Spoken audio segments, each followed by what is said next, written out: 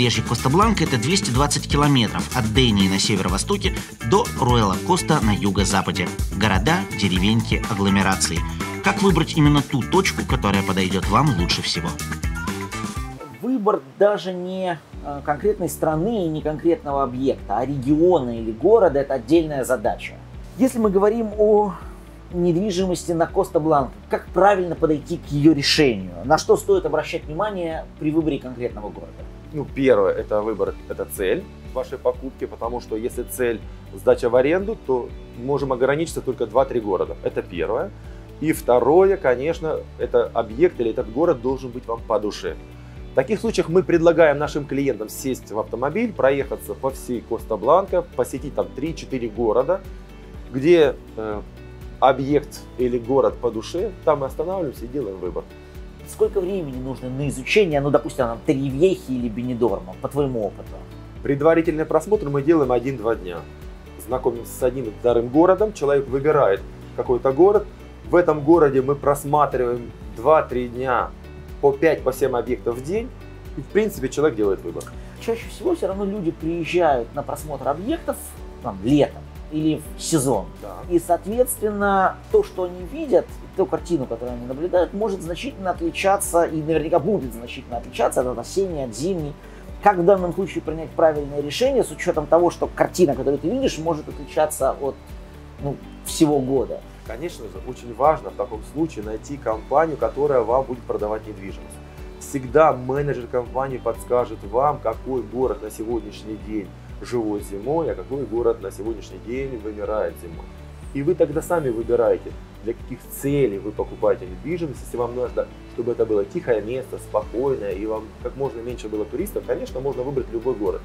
А если ваша цель, конечная, это сдача в аренду выбирать надо по совету этой компании. Ну вот давайте конкретным примером. Предположим, я хочу жить в Испании 2-3 месяца летом, и мне совершенно не важно, что будет происходить с моей недвижимостью все остальное время. Я не собираюсь сдавать ее в аренду. Какой город ты порекомендуешь? Я порекомендую несколько городов. Начнем город Кальпе. Уникальное место, красивые горы, широкие песчаные пляжи, Все, что мы видим там, это жилые дома, а не гостиницы. Да, конечно, потому что гостиниц Кальпы очень мало. На самом деле Кальпы город небольшой, и основная масса недвижимости это частные дома и виллы дорогие. Это как раз город для тех, кто хочет отдыхать здесь спокойной жизнью, приехать на пенсию, чтобы было мало туристов, особенно зимой здесь очень спокойно. И вот этот главный пляж города? Это их два пляжа города здесь. Один пляж вот с этой стороны, мыс Ифач и гора одноименная. И с другой стороны находится еще один пляж, и там же находится порт. Можно взять катер в прокат, покататься на катере, и еще отсюда можно взять катер в прокат и сходить на остров Ибица. Он здесь недалеко. И в хорошую погоду вот с тех гор мы однажды наблюдали силуэты города, острова Ибица. Следующий город Бенедорм, это дискотеки, это американские горки, это аквапарк, зоопарк. Аликанте город, очень интересный город, большой порт, можно путешествовать, морские прогулки делать. Уникальное место это город Таривьеха и город Урела Коста. Ну, ты назвал практически все под эту задачу. А, а если, например, задача при этом еще сдавать в аренду, причем желательно круглый год? Тогда Таривьеха и Бенедорм. То есть Кальпы нет э, и даже Аликанты нет. Если мы говорим о вложении денег и получить по максимуму, то, наверное, только два города. Удачно сдавать свою недвижимость, хорошо зарабатывать – это даже не вопрос, это боль, которая лечится удачным выбором. Неудивительно, что чуть позже мы с Александром Дашевским вернулись к обсуждению актуального вопроса. Не каждый город работает для сдачи в аренду. Если у вас цель покупки проживания собственно, мы можем посмотреть все города. А если у вас цель сдавать в аренду в основном и э, жить самому, то можно отбросить много городов, которые вы, вымирают на зиму, и они становятся пустыми. Соответственно, использовать их для сдачи в аренду невозможно. И вот цель – это будет самая главная причина. Ну, давай на конкретных примерах. Ну, не знаю, начнем там, с севера, например, региона, например, Дения.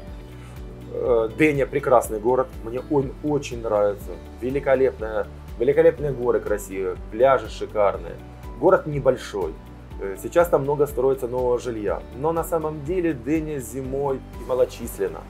Если сказать, что на севере Коста-Бланка можно было рассмотреть, я бы предложил город Бенидорм.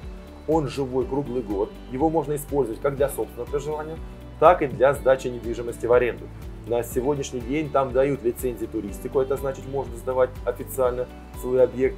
И он более популярен, этот город, для всех туристов всей Европы, всего мира.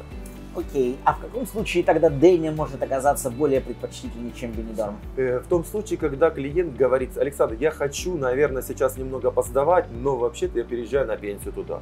Вот я бы рекомендовал людям уже в возрасте переезжать в такие города, как Дэня, потому что там более комфортно, более чисто, более спокойно, меньше туристов из разных шумных стран, так назовем, не будем называть какие страны. Но на самом деле Дэня вот в этом плане идеальный вариант видишь, мы целый день находимся сегодня в Бенедорме, и количество людей просто восхищает. Сезон начался.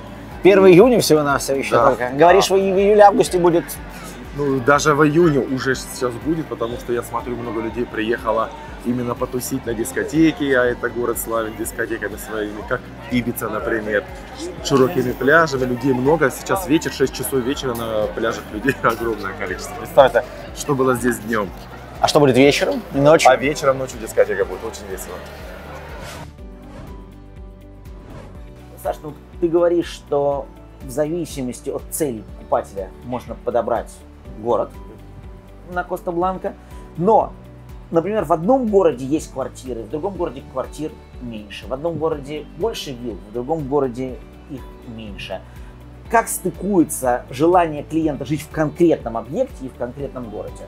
Э, я скажу, что в Испании типов недвижимости очень много. В отличие от наших стран, где есть квартира и есть дом, два типа недвижимости и все. Но о типе недвижимости я предлагаю поговорить отдельно, потому что это отдельная тема и очень важно. Многие наши клиенты э, путают, когда начинают выбирать и задают там вопросы, и не понимают, что такое бунгало и что такое дом. Но о типах недвижимости в Испании мы поговорим в следующей серии нашего проекта.